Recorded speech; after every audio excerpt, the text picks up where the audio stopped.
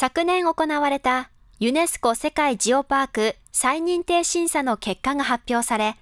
再認定が決定しました。4年ごとの再認定審査は、アメリカと中国の審査員2名を迎え、昨年8月6日から9日にかけて行われました。その後、9月にイタリアでのジオパーク世界大会で審議され、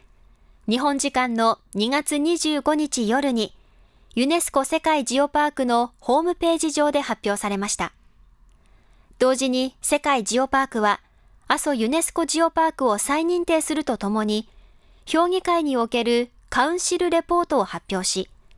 ジオパークとしての取り組みに2016年の熊本地震などの経験を生かした教育プログラムの充実を提言しています。審査結果を受けた阿蘇ジオパーク推進協議会の佐藤義之会長は、今後は報告書のご指摘を改善し、さらなるジオパーク活動の充実化に向けて取り組んでいくつもりです。ありがとうございましたとコメントを発表しました。